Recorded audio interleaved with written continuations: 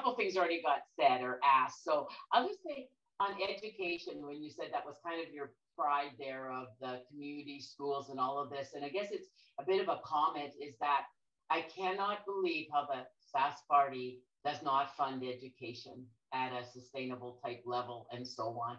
And it's um, and, and, and the more private education and independent schools and some of those pieces are getting you know 15 to 16 percent increase while public education isn't and so we kind of start looking at it almost as a we're getting into a two-tiered education system i don't know if you have any comments on that but the other piece was when you mentioned taxes and i think again how broad broad-based taxes and the increase in taxes and taking, you know, and people don't seem to think that that's a big issue for them. And yet I had some people actually quite interestingly enough say, our income tax, we're not even paying enough, like they said, and yet these other types of taxes are going up and they're um, they're not equitable. And then a little bit of comment too about how what you feel your government did even in the north, because I think there again, all the infrastructure and so on that we did in the north there's not a lot of credit for that. And these guys haven't been following up with that. So I kind of covered three or four things there, but just like your comment on those things. Uh, Judy. Um, that there, I don't, I, I think it's, I don't think anyone could argue that the, the quality of life in a community, the future of a community, the future of a society is based on education on how we provide the tools and the opportunities for young people and, and, and adults and seniors to be involved in, in education. And uh, there's no doubt about it, this government has uh, simply, simply um, has not kept pace with funding in education. Now, I think that means we should ought to have uh, a real, a real strong allied group uh, among educators uh, in this province. Um, I didn't, when, when I was trying to put these notes together, I was, I was thinking, well, you know, I, I, I, crafted a little document after we left government to try and outline uh, the, the activities that we were involved with in government. It's 35 pages long.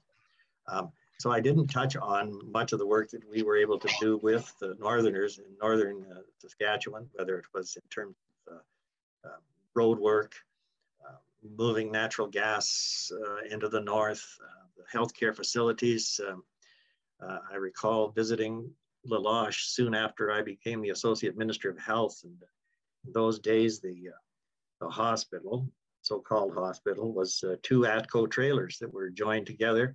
And when I went into the facility, the, the, the, nurses on staff were both carrying pails to catch water that was coming through the ceiling. And uh, that was after I'd been to Imperial, where the acute care wing was, uh, was empty. Uh, they had real acute care needs in La Loche. And so we were able to, we were able to, we were able to build a, a, new facility in La Loche. We built a very creative new facility, healthcare and education facility in uh. We had some very, very good and strong MLAs, and we've had very good and strong MLAs uh, up until the most recent by-election um, uh, coming from the north. And again, we concentrated, uh, concentrated on um, economic development providing Northerners opportunities uh, to work in the North. Um, we concentrated on educational opportunities, the, uh, the, the SUNTEP program um, in, in the North and the nursing program in the North.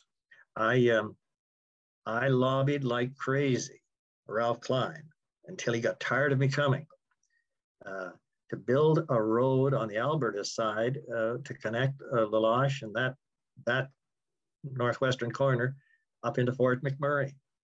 And um, it, it got to the stage where he phoned me once and he said, well, my highways minister won't do it.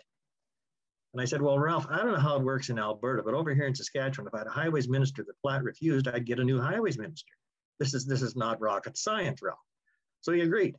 And we had a big press conference in, the, in the Lloydminster, right out on the Alberta side, to announce the construction of the, of the road uh, to uh, to Fort McMurray. Um, then the conservatives, I never quite understood it, but the conservatives then dumped Ralph Klein and they got Eddie Stelmach and, uh, and Ed canceled it, canceled the project. And, um, and then, as I say, I was uh, uh, with the majority of Saskatchewan um, um, consent of the majority, I became leader of the opposition. So that And it just kind of made me smile when in the by-election there was Scott Moe up there talking about building a, a road to uh, the border. Well, it's built to the border, Scott.